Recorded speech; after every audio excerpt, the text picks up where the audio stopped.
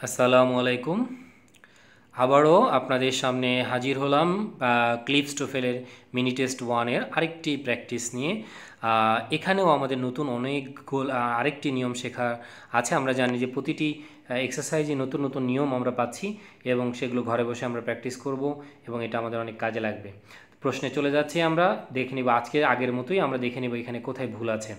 এবং এই ভুল খুঁজে বের করতে করতে আমরা গ্রামাটিক্যাল যে স্কিলটি আছে সেটি আমরা বৃদ্ধি করব যাতে বিভিন্ন জব পরীক্ষাগুলোতে ব্যাংক বিসিএস থেকে শুরু করে আমাদের বিভিন্ন যে পরীক্ষাগুলো হয় এবং অ্যাডমিশন টেস্টের পরীক্ষাগুলোতেও আমরা ইনশাল্লাহ ভালো করতে পারব। The work performed by this officers are not worth our our paying any longer এবার আমরা সরাসরি নিয়মে চলে যাচ্ছি। এই জায়গায় এটা একটু যে বিষয়টা আছে সেটি হচ্ছে দ্য ওয়ার্ক পারফর্মড এখানে এটা হচ্ছে যে রিডিউস ক্লস তাহলে এখানে রিডিউস ক্লজের একটি বিষয় আছে। রিডিউস ক্লজ কী জিনিস?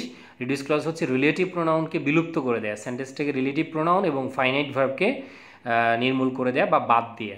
আসলে এই সেন্টেন্সটা ছিল হচ্ছে এরকম the work which is performed by this officers কিন্তু এখানে যেহেতু হুইচ আর ইজটি নাই, এই কারণে সরাসরি আপনার কি বসেছে? পারফর্মড তাহলে এই জন্য আপনার কাছে এই জিনিসটি ভুল মনে হতে পারে। এটা আসলে ভার্বের past participle that is V three যেটাকে আমরা বলি। আর এটা যেহেতু প্যাসিভ মিনিং আমি আগেই বলেছি the work which is performed তাহলে বাই দিস অফিসার্স এটি একটি প্যাসিভ মিনিং দিয়েছে যে এই অফিসারদের দ্বারা যে সম্পূর্ণকৃত কাজটা আর নট ওর্থ এখানে এখানে আর নট দিয়েছে। তাহলে আগের বাই দিস অফিসার এটি সঠিক আছে। এবার আমরা আর এর ব্যবহারটি দেখব যে আর এর সাবজেক্ট কী। যেহেতু এটি একটি সিম্পল সেন্টেন্স খেয়াল করে দেখবেন অনেকে মনে করতে পারে এটি একটি কমপ্লেক্স সেন্টেন্স কিন্তু না, এটি একটি সিম্পল সেন্টেন্স কারণ ওই হুইচ আর ইজ যখন দিব, তখন সেটা কমপ্লেক্স হয়ে যাবে। যখন the work which is perform এই হুইচ আর ইজটি বাদ দিব, তখন এটা সিম্পলে রূপান্তরিত হয়ে যাবে।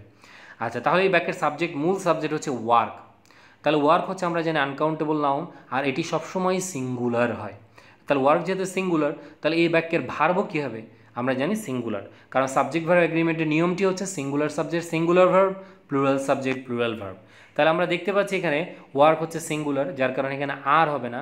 তাহলে আমরা বন্ধুরা বুঝতেই পারছি এখানে ভুলটা হচ্ছে আর কারণ এখানে আর না হয়ে এখানে উত্তর হয়ে যাবে ইজ আর এখানে আরেকটা জিনিস শিখেছি, এখানে ওর্থ হচ্ছে যে যে বিষয়টা আমরা শিখেছি ওর্থের পরে পসেসিভ কেস তারপরে ভার্বের সাথে আইনজি যেটা আমরা আগেই জানি। পেইং এবং পেইং আওয়ার পেইং এবার এই পেটা হচ্ছে আবার একটা ভার্ব কাজ করছে ভার্বের মতো কাজ করছে, জিরান।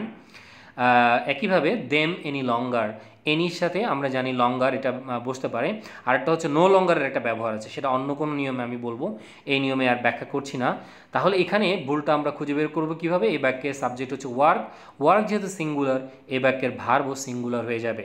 তাহলে আমরা রিডিউস ক্লস একটা নিয়ম শিখলাম এবং সাবজেক্ট কীভাবে বের করতে হয়? কারণ এখানে মূল সাবজেক্টই হচ্ছে ওয়ার্ক যেটা সিঙ্গুলার এই জন্য আর না হয়ে ইজ হয়ে যাবে।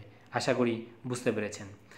সবাইকে ধন্যবাদ এই ভিডিওটি দেখার জন্য। আর যারা এখনও আমার চ্যানেলটি সাবস্ক্রাইব করেননি, তাহলে দয়া করে চ্যানেলটি সাবস্ক্রাইব করে নেবেন এবং পাশের বেল আইকনটি অন করে দেবেন। এই ধরনের মজার মজার ভিডিও এবং শিক্ষামূলক ভিডিও আপনাদের দেওয়ার চেষ্টা করব। এবং সেই সাথে যারা ইতিমধ্যে আমার চ্যানেলটি সাবস্ক্রাইব করেছেন, তাদেরকে অসংখ্য ধন্যবাদ। ভালো থাকবেন এবং নতুন কোনো ভিডিও নিয়ে আবার দেখা হবে।